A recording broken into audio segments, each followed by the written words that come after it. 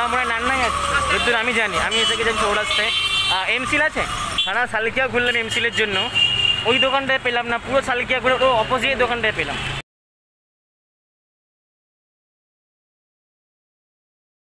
Hey guys I know এইটা আমার blog start করার কোনো সময় নয়। অ্যাকচুয়ালি এটা আজকের দিনই মানে এটা সানডে যেদিন আমি রাতে জাস্ট ঘুমাতে যাওয়ার আগে ব্লগটা চালু করলাম। বেসিক্যালি আমার বাবা মা কেউ নেই, সবাই ছাদে গেছে।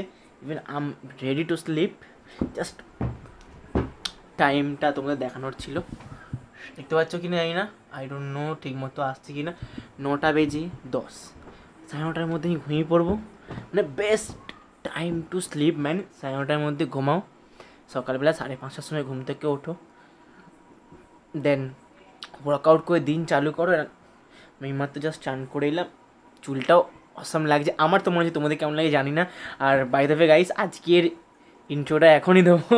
Hello my YouTube family this is Sandeep Bhattacharya and welcome back to my YouTube channel Sandeep lifestyle basically আজকের মানে সানডে তোমরা মানডেতে যেই ব্লগটা দেখেছ, আমি একটু বেশি রেগে গেছিলাম বিকজ হয়ে যায় ম্যান এত কিছুর পর জানতে পারছি, এক বছর পুরো ওয়েস্ট হয়ে গেল।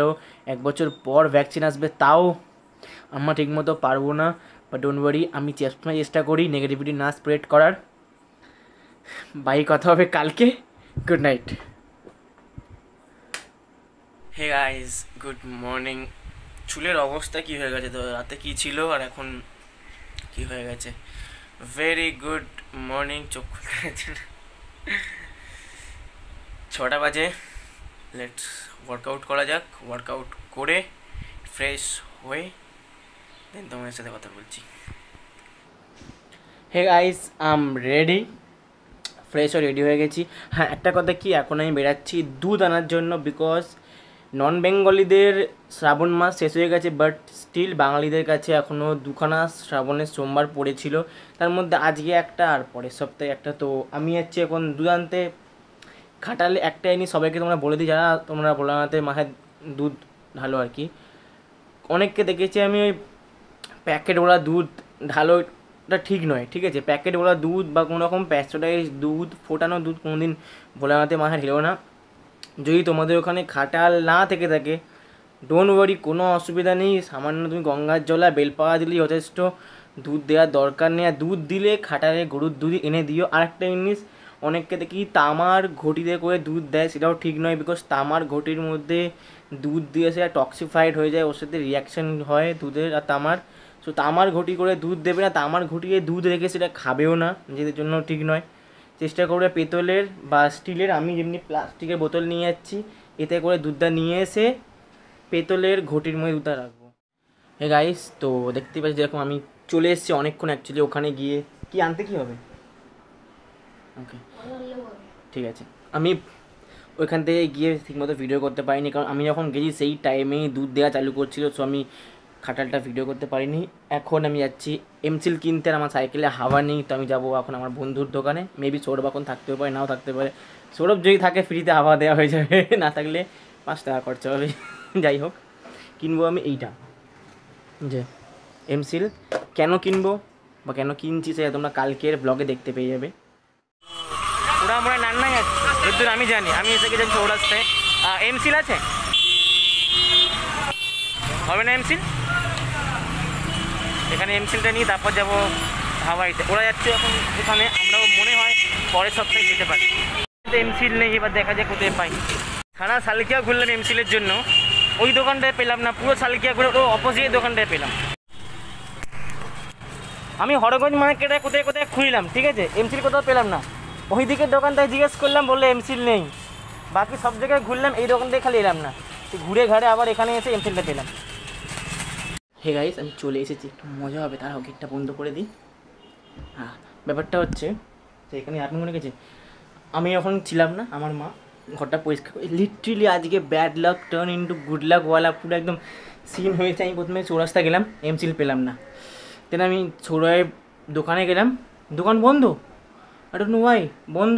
সৌরভকে ফোন করলাম ফোন গেল না আনরিচেবল কী করব কী করব কী করব? ওখান থেকে ব্যাকে আসছি। একটা জায়গায় আমি জীবনে হাওয়া ভরাই না, ওখানে সাইকেলের কোনো দোকানও ছিল না, ওখানে দেখি নতুন সাইকেলের দোকান। ওখান থেকে হাওয়া ভরিয়ে নিলাম। এসে পুরো সালকিয়া ঘুরলাম। হরগঞ্জ মার্কেটে গেলাম এমসিলের জন্য একটা হার্ডওয়্যারের দোকান, ওখানে এমসিল নেই। আমি বললাম এমসিল কোথায় পাবো? খুবই ঘুরে বেড়াচ্ছি রোদ্দুরের মধ্যে।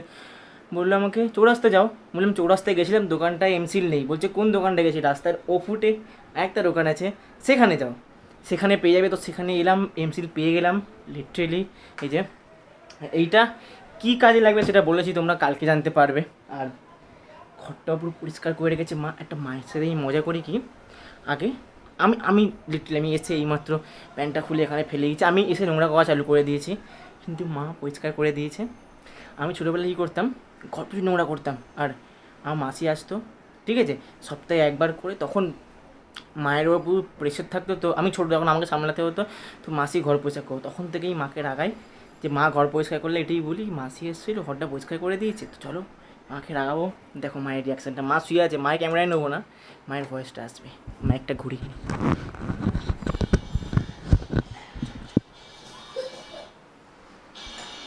এ মা! এ, কি বলে? আমার ঘরটা পরিষ্কার মনমাসি এসেছিল নাকি?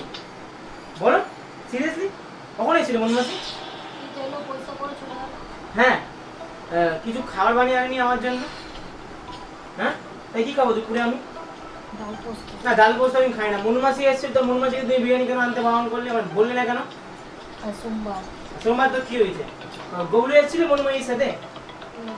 হ্যাঁ? গবলু এসেছিল? তো মনুমাসি এলো গবলু এলো আমার ঘর পরিষ্কার করো। তুমি কি করছিলে? তোমার কোনো কাহিনী শুয়ে দেখা ছাড়া?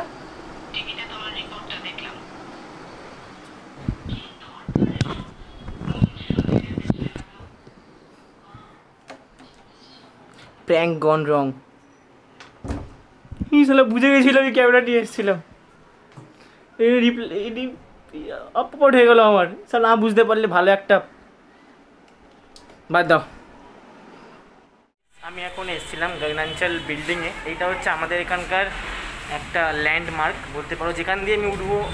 অটো বা রিক্সা গগনাঞ্চল বিল্ডিং এখন হচ্ছে মার্কেট বললে হয়ে যাবে। এখানে কেবলে বিল দিতে এসেছিলাম টিভির এইখানকার বৈশিষ্ট্যটা হচ্ছে আমাকে ওপরে যেতে হয় না আন্ডারগ্রাউন্ডে অফিসটা মানে গ্রাউন্ড ফ্লোর থেকে এক ফ্লোর নিচে নামতে হয়েছিল, এখন আমি গ্রাউন্ড ফ্লোরে এলাম। আর বিল দেওয়া জমা হয়ে গেছে, এবার আমি পড়তে যাচ্ছি, যাব নন্দীর বাড়ি, সেখান থেকে পড়তে। তো আমাদের এখানে এসে গেছি মানে নন্দীদের পাড়ায়। এইখানটা দেখে কিছু মনে পড়ছে? যদিও জানি তোমাদের কিছু মনে পড়ছে না। এইখানটা ছিল আগে লকডাউন মানে কন্টেলমেন্ট জোন তো পুরো বন্ধ ছিল বাট এখানটা খুলে দিয়েছে। কিন্তু দুঃখের বিষয়, নন্দীদের পাড়া এটা এই সরু গলিটা ওইদিকে যে পাড়াটা আছে, সেইটা আবার বন্ধ করে, সেখানে আবার পাঁচ, ছজনের ওপরে লোকের কমা ধরা পড়েছে, আর দুজন কালকে মারা গেছে। বাট নন্দীদের পাড়ায় কিছু হয়নি ভাগ্যিস তো পড়াটা কন্টিনিউ করছি। কি হচ্ছে কিছু বুঝতে পারছি না লিটারেলি ভয় লেগে যাচ্ছে এবার ঠিক আছে আমাদের নন্দিয়াদা ভাই, কি হচ্ছে এখন? মানে আমি, ক্যামেরা সামনে। দুই আছে আমার বক্তব্য হচ্ছে কি হচ্ছে জিনিসপত্র মধ্যে? একটা পাড়া ঠিক হচ্ছে। আরেকটা পাড়া ওইদিকে পাড়ায় হয়ে যাচ্ছে। রীতিমতো ভয় পেয়ে যাচ্ছি ভাই। এবারে এবারে দেখ সবচেয়ে বড় কথা সরকার বলেছিল কি সেপ্টেম্বর মাসের মধ্যে ভ্যাকসিন বেরাবে। সেপ্টেম্বর কি ডিসেম্বর? ডিসেম্বর। যাই হোক আমরা ভেবেছিলাম কি পুজোর আশাকাছির মধ্যে যদি সেরে যায় তাহলে আমাদের ঘোরাফোরা আবার চালু হবে। মোটামুটি আমার ইউটিউব চালু হয়েছে এক বছর হয়ে গেল। ইউটিউবের অবস্থাটা খুবই ঘাটিয়া বাদ দিচ্ছি। কিন্তু যা পরিস্থিতি বলছে সব কিছু ঠিক থাকলে পরের বছর তাও দশ কোটি। আর সেই দশ কোটির মধ্যে এইটুকুনি তো শিওর যে আমরা গরিবরা আসছি না। আর তোমরা যারা ভিড় তারাও আসছো না। এটুকুনি ধেয়ে রাখো। তো এবার এখন থেকে চালু করো বোঝা, আর তোমরাও সরকারকে বলো যে কী হচ্ছে, কেন হচ্ছে। সবাই বললে ডেফিনেটলি কিছু না কিছু করতে বাধ্য হবে। আর আর বলা উচিত, না হলে একটা পাতি কথা কানে খুবই চিল্লানোর মতো করে আসছে, সেটা হচ্ছে the end is very close বুঝে নাও, নাহলে পরে বোঝার মতো অবস্থা থাকবে না। আমার যেটা মেন বক্তব্য গাই সেটা হচ্ছে তোমরা বোঝো, তোমরা অনেকেই প্রচুর পলিটিক্স করো তো। সো একটা জিনিস দেখো, সরকার সব দিকে চেষ্টা করছে সব দিকে চেষ্টা করা ভুল কথা সব দিকে ঝগড়াঝাটি করছে, এই পার্টির দল ওকে খারাপ বলছে, ও তাকে খারাপ বলছে। কিন্তু কোনো সরকারি পার্টির দল ভাইরাসের ভ্যাকসিন নিয়ে কিন্তু কথা বলছে না। দেখো লকডাউনের ওপর লকডাউন করছে, এই, ওই, সেই নানা রকম র্যাফেল র্যাফেল নিয়ে আলোচনা হচ্ছে।